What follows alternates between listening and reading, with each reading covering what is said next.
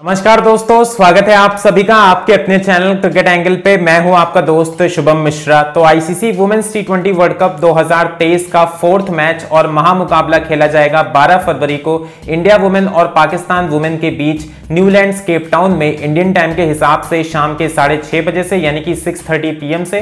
तो आज की इस वीडियो में इस महामुकाबले का कंप्लीट मैच प्रीव्यू करने वाला हूँ, जहाँ पर मैं आपको बताऊँगा कि इस मैच के लिए न्यूलैंड केपटाउन की पिच रिपोर्ट क्या है।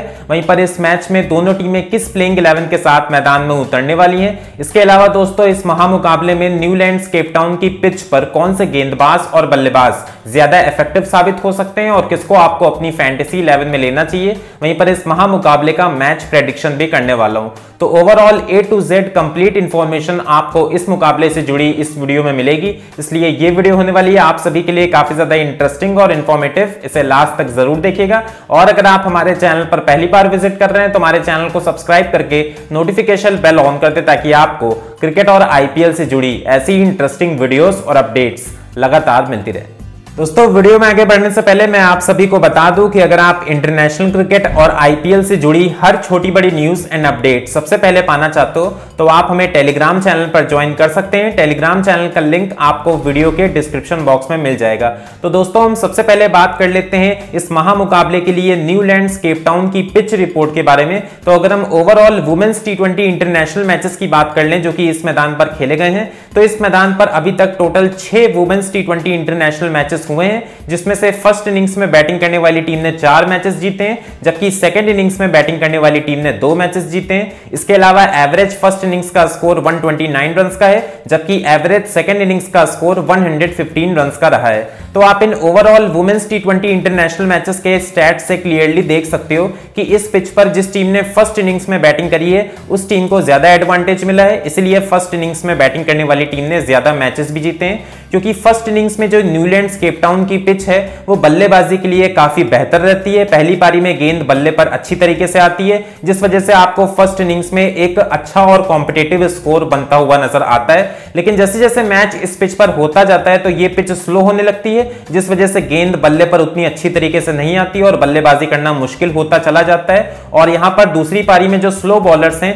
यानी कि मीडियम फास्ट बॉलर्स और स्पिनर्स वो ज़्यादा इफ़ेक्टिव होते हैं। इसी वजह से दोस्तों स्कोर चेस करना मुश्किल होता और इसका एग्ज़ाम्पल आपको women's T twenty World Cup 2023 के पहले मैच में भी देखने को मिल गया था, जो कि श्रीलंका वुमेन और साउथ अफ्रीका वुमेन के बीच खेला गया था।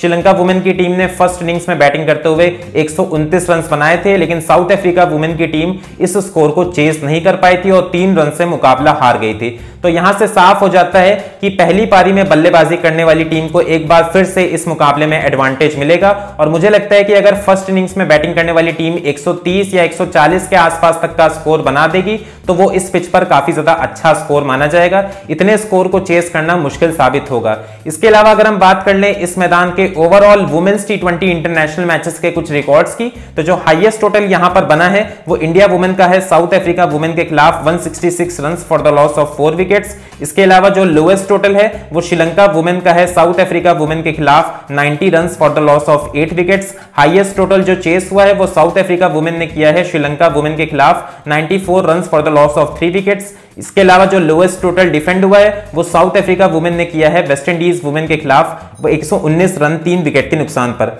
वहीं अगर हम स्कोरिंग पैटर्न की बात कर लें तो 150 से नीचे का स्कोर फ़र्स्ट इनिंग्स में चार बार बना है। इसके अलावा 150 से एक के बीच में टीम्स ने तीन बार स्कोर किया है। वहीं पर 170 से एक के बीच में एक बार भी स्कोर देखने को नहीं मिला है और 190 के ऊपर का स्कोर फ़र्स्ट इनिंग्स में एक बार भी नहीं बना है। तो ये जो overall women's T twenty international matches के स्कोरिंग पैटर्न है, वो भी आपको क्लियरली बता दें कि ये हाई स्कोरिंग वेन्यू नहीं है। यहाँ पर ओवरऑल बल्लेबाजी करना बहुत ज़्यादा आसान साबित नहीं होता है। तो ऐसे में एक बार फिर से आप फ़र्स्ट इनिंग्स का जो स्कोर है, वो 140 के आसपास का एक्सपेक्ट कर सकते हो। और अब दोस्तों हम बात कर लेते हैं कि इस मैच में न्यूलैंड केपटाउन की पिच पर कौन से गेंदबाज ज़्यादा इफ़ेक्टिव साबित हो सकते हैं स्पिनर्स या फास्ट बॉलर्स तो जो लास्ट तीन women's T twenty international matches इस मैदान पर खेले गए हैं, अगर हम उनके रिकॉर्ड्स की बात कर लें तो टोटल 19 विकेट्स फास्ट बॉलर्स ने लिए हैं, जबकि 13 विकेट्स स्पिनर्स को मिले हैं। राइट आर्म फास्ट बॉलर्स ने 19 विकेट लिए हैं, जबकि लेफ़्ट आर्म फास्ट बॉलर्स को कोई विकेट नहीं मिला है। राइट आर्म ऑफ़ स्पिनर्स ने भी कोई विकेट नहीं लिया है। इसके अलावा राइट आर्म लेग स्पिनर्स को चार विकेट मिले हैं, जबकि लेफ़्ट आर्म स्पिनर्स ने नौ विकेट्स लिए हैं। तो ये जो लास्ट तीन women's T twenty international matches के स्टैट्स हैं, वो आपको क्लियरली बता रहे हैं कि हाल फ़िलहाल में इस पिच पर फास्ट बॉलर्स और स्पिनर्स दोनों को काफ़ी ज़्यादा हेल्प मिली है। इसीलिए दोनों तरीकों के गेंदबाजों ने काफ़ी विकेट चटकाए हैं। अगर हम फास्ट बॉलर्स की बात कर लें तो जो शुरुआती ओवर्स होते हैं, यानी कि पावर प्ले ओवर्स वहाँ पे तेज गेंदबाजों को थोड़ी स्विंग मिलती है, जिस वजह से वो आपको पावर प्ले ओवर्स में विकेट चटकाते हुए नज़र आ सकते हैं। इसके अलावा दोस्तों, जैसे जैसे मैच आगे बढ़ता जाएगा तो जो मीडियम फास्ट बॉलर्स हैं, यानी कि जो अपनी गति में मिश्रण ज़्यादा करते हैं वेरिएशन का इस्तेमाल करते हैं, उस तरीके के गेंदबाज भी इस पिच पर बहुत ज़्यादा इफ़ेक्टिव होंगे। और मैच बढ़ने के साथ स्पेशली सेकेंड इनिंग्स में स्पिनर्स का रोल इस पिच पर बहुत ज़्यादा बढ़ जाएगा, क्योंकि सेकेंड इनिंग्स आने तक ये पिच काफ़ी हद तक स्लो हो जाएगी, और स्पिनर्स को यहाँ पर ग्रिप और टर्न भी मिलेगी। तो दूसरी पारी में जो स्पिनर्स हैं, वो आपको घातक साबित होते हुए नज़र आ सकते हैं। ऐसे में दोस्तों, मेरा आपको ओवरऑल सजेशन यही रहेगा कि अगर आप फैंटेसी 11 बना रहे हैं तो आपको अपनी प्लेइंग 11 में फास्ट बॉलर्स और स्पिनर्स दोनों को इंक्लूड करना चाहिए और आप तीन दो के कॉम्बिनेशन के साथ जा सकते हो, जहाँ पर आप तीन स्पिनर्स और दो फास्ट बॉलर्स को अपनी फैंटेसी 11 में रख सकते हो। तीन स्पिनर्स में दोस्तों, आप एक राइट आर्म ऑफ़ स्पिनर एक राइट आर्म लेग स्पिनर और एक लेफ़्ट आर्म स्पिनर के साथ जा सकते हो। और इसके बाद दोस्तों हम बात कर लेते हैं इस महामुकाबले के लिए दोनों टीमों की एक्यूरेट प्रेडिक्टेड प्लेइंग 11 के बारे में। तो अगर हम सबसे पहले इंडियन वुमेन्स टीम की प्लेइंग 11 के बारे में बात कर लें तो इंडियन वुमेन्स टीम को इस मैच से पहले बड़ा झटका लगा है, जहाँ पर उनकी स्टार ओपनर स्मृति मंदाना इस मैच से बाहर हो चुकी हैं, क्योंकि प्रैक्टिस मैच के दौरान फील्डिंग करते वक्त उनके लेफ़्ट मिडिल फिंगर में चोट लग गई थी, जिस वजह से वो अभी तक पूरी तरीके से फिट नहीं हो पाई हैं और इस मैच में आपको खेलते हुए नज़र नहीं आएँगी। तो आपको जो इंडियन वुमेन्स टीम की प्लेइंग इलेवन है, वो इस प्रकार की नज़र आ सकती है।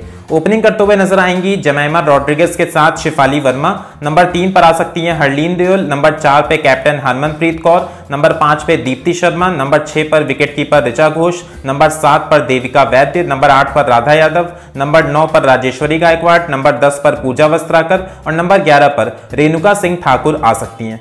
इसके बाद दोस्तों हम बात कर लेते हैं पाकिस्तान वुमेन की प्रेडिक्टेड प्लेइंग 11 के बारे में। तो पाकिस्तान वुमेन की टीम को भी टी ट्वेंटी वर्ल्ड कप 2023 से पहले काफ़ी बड़ा झटका लगा है, जहाँ पर इनकी मेन प्लेयर डायना बेग इस पूरे वर्ल्ड कप से इंजरी की वजह से बाहर हो चुकी हैं। तो जो आपको पाकिस्तान वुमेन की प्लेइंग 11 है, वो इस प्रकार की नज़र आएगी। ओपनिंग करते हुए नज़र आ सकती हैं सिद्रा, अमीन के साथ जावेरिया खान। नंबर तीन पर आ सकती हैं कैप्टन बिस्मा मारूफ। नंबर चार पर wicket keeper Muneeba Ali. Number पाँच पर निडा डार नंबर छह पर आयशा नसीम, नंबर सात पर सद्दाफ शमस, नंबर आठ पर आलिया रियाज, नंबर नौ पर सिद्रा नवाज़ नंबर 10 पर फातिमा सना और नंबर 11 पर नाशरा संधू आ सकती हैं। और अब दोस्तों हम बात कर लेते हैं इस महामुकाबले की मैच प्रेडिक्शन के बारे में। तो अगर हम सबसे पहले overall head to head record की बात कर लें तो इंडिया वुमेन और पाकिस्तान वुमेन का टी ट्वेंटी इंटरनेशनल में आमना सामना टोटल थर्टीन मैचेस में हुआ है, जहाँ पर इंडियन वुमेन्स टीम ने दस मैचेस जीते हैं, जबकि पाकिस्तान वुमेन की टीम सिर्फ़ तीन मैचेस ही जीत पाई है। तो overall head to head record में इंडियन वुमेन्स टीम का पलड़ा काफ़ी ज़्यादा भारी नज़र आ रहा है। इसके अलावा अगर हम बात कर लें last five T twenty international matches की, जो कि इन दोनों टीमों के बीच खेले गए हैं। तो वहाँ पर भी इंडियन वुमेन्स टीम ने डोमिनेट किया है। इंडियन वुमेन्स टीम ने चार मैचेस जीते हैं, जबकि पाकिस्तान वुमेन की टीम सिर्फ़ एक मैच ही जीत पाई है। अब हम बात कर लेते हैं टी ट्वेंटी वर्ल्ड कप की हिस्ट्री की। तो टी ट्वेंटी वर्ल्ड कप में इन दोनों टीमों का आमना सामना टोटल छह मैचेस में हुआ है, जहाँ पर इंडियन वुमेन्स टीम ने चार मैचेस जीते हैं, जबकि पाकिस्तान वुमेन की टीम दो मैचेस ही जीत पाई है। तो टी ट्वेंटी वर्ल्ड कप में भी इंडियन वुमेन्स टीम का पलड़ा भारी रहा है। इसके बाद हम बात कर लेते हैं दोनों टीमों की रिसेंट फॉर्म के बारे में तो इंडियन वुमेन्स टीम ने जो last five T twenty international matches खेले हैं, उसमें से तीन मैचेस जीते हैं, जबकि दो मैचेस में हार का सामना करना पड़ा था। दूसरी तरफ़ पाकिस्तान वुमेन की टीम ने जो last five T twenty international matches खेले हैं, उसमें से सिर्फ़ एक मैच जीता है, जबकि चार मैचेस में हार का सामना करना पड़ा है। तो दोस्तों, आप रीसेंट फॉर्म भी कंपेयर कर सकते हो दोनों टीमों की, और उस लिहाज से भी इंडियन वुमेन्स टीम काफ़ी ज़्यादा बेहतर फॉर्म में नज़र आ रही है। और इसके बाद दोस्तों हम बात कर लेते हैं इस मैच के लिए दोनों टीमों की तरफ़ से की प्लेयर्स की, जो कि इस मुकाबले में अच्छा प्रदर्शन कर सकते हैं और आप इन्हें अपनी फैंटेसी इलेवन का हिस्सा भी बना सकते हो। तो अगर हम सबसे पहले बल्लेबाजों की बात कर लें तो इंडियन वुमेन्स टीम की तरफ़ से आप हरमनप्रीत कौर के साथ जा सकते हो, जो कि हाल फ़िलहाल में काफ़ी अच्छी फॉर्म में है। पिछले नौ मैचेस में टू रन बनाए हैं फोर्टी के एवरेज और वन के स्ट्राइक रेट के साथ। इसके अलावा आप स्मृति मांधना की जगह पर शिफाली वर्मा को फैंटेसी इलेवन में रख सकते हो। पाकिस्तान वुमेन की टीम की तरफ़ से आप निडा डार के साथ जा सकते हो, जो कि बेहतरीन ऑलराउंडर हैं। पिछले 10 मैचेस में 273 रन बनाए हैं 39 के एवरेज और 114 के स्ट्राइक रेट के साथ, जबकि ये अपनी ऑफ़ स्पिन गेंदबाजी से भी काफ़ी विकेट चटका के दे सकती हैं। इसके अलावा आप मुनीबा अली को भी फैंटेसी लेवल में रख सकते हो। पिछले 10 मैचेस में 167 रन बनाए हैं 16 के एवरेज और 92 के स्ट्राइक रेट के साथ। अब दोस्तों हम बात कर लेते हैं बॉलर्स की। तो अगर हम सबसे पहले इंडियन वुमेन्स टीम के बॉलर्स की बात कर लें तो यहाँ से आप right arm off spinner Deepti Sharma को फैंटेसी इलेवन में ज़रूर रखना।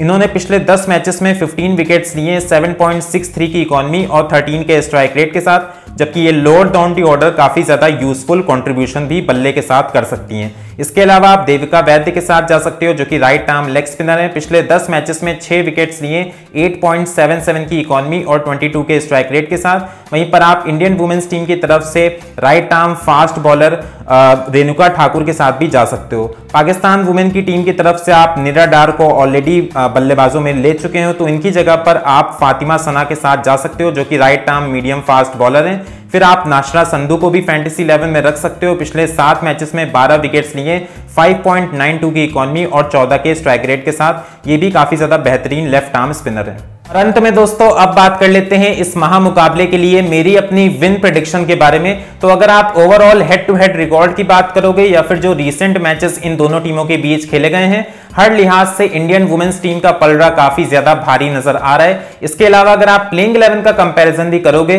तो वहाँ पर भी इंडियन टीम के पास जो बैटिंग मौजूद है, वो पाकिस्तान वुमेन की बैटिंग के कंपैरिजन में काफ़ी ज़्यादा एक्सपीरियंस्ड और स्ट्रॉन्ग नज़र आ रही है। लेकिन आखिरी बार वुमेन्स एशिया कप 2022 में जब इन दोनों टीमों के बीच मुकाबला खेला गया था, तब पाकिस्तान वुमेन्स की टीम ने इंडियन वुमेन्स टीम को हराया था। तो इसका मतलब यह है कि आप पाकिस्तान वुमेन्स टीम को हल्के में नहीं ले सकते, उनके अंदर भी क्षमता है अपसेट करने की और फिर से वो इंडियन वुमेन्स टीम को चौंका सकते हैं। लेकिन जिस प्रकार से भी इंडियन वुमेन्स टीम की फॉर्म चल रही है और हालिया प्रदर्शन जैसा रहा है, उस लिहाज से मुझे लगता है कि इंडियन वुमेन्स टीम इस मुकाबले में एज अ फेवरेट स्टार्ट करेगी। और ऐसे में दोस्तों, मुझे लगता है कि इस मुकाबले में इंडियन वुमेन्स टीम का पलड़ा थोड़ा सा भारी है और इसलिए इस मुकाबले की जो मेरी विन प्रडिक्शन है, वो इंडियन वुमेन्स टीम के साथ ही जाने वाली है। सो so फ्रेंड्स ये तो बात हो गई मेरी अपनी विन प्रिडिक्शन की। आपको क्या लगता है, किस टीम की प्लेइंग इलेवन ज़्यादा मज़बूत नज़र आ रही है और आपके हिसाब से कौन सी टीम ये महामुकाबला जीतेगी? इंडिया वुमेन या फिर पाकिस्तान वुमेन आप अपनी राय कमेंट बॉक्स में दे सकते हैं। इसके अलावा अगर आपको ये वीडियो पसंद आई हो तो उसे लाइक करें, अपने दोस्तों के साथ शेयर करें और आप हमारे चैनल को ज़रूर सब्सक्राइब करें। वहीं पर क्रिकेट मैचेस की फैंटेसी प्लेइंग इलेवन इसके अलावा क्रिकेट से जुड़ी हर छोटी बड़ी न्यूज़ एंड अपडेट्स सबसे पहले पाने के लिए आप हमें टेलीग्राम चैनल पर ज़रूर ज्वाइन कर लें। टेलीग्राम चैनल का लिंक आपको वीडियो के डिस्क्रिप्शन बॉक्स में मिल जाएगा। सो so फ्रेंड्स मिलते हैं आपसे किसी नई और इंटरेस्टिंग वीडियो में। Till then take care stay safe and good bye